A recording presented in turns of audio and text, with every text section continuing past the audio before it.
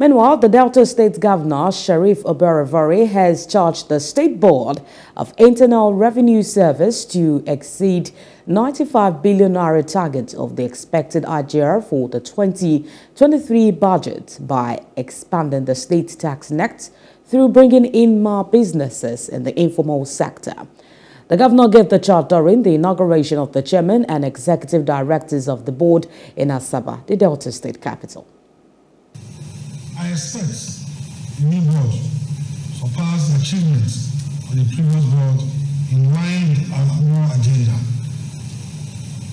More also means more money in the kitty.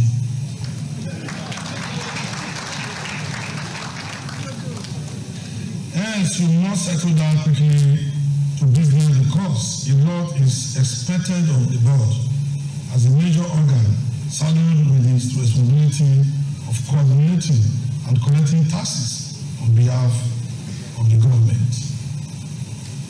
Out of the estimated 95 billion IGR in the 2023 fiscal year, 58.56 billion has been generated as at the end of June.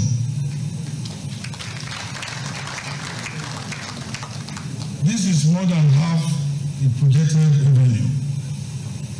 With the current trend, I expect you to exceed the target for the year.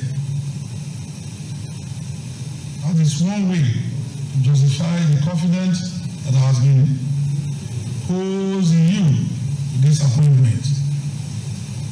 Thankfully, the new chairman, Honorable Solomon Ighrakpata, is not new to this agency.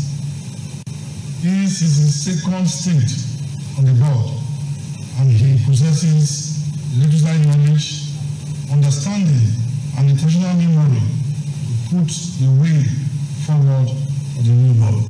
Hello. Hope you enjoyed the news. Please do subscribe to our YouTube channel and don't forget to hit the notification button so you get notified about fresh news updates.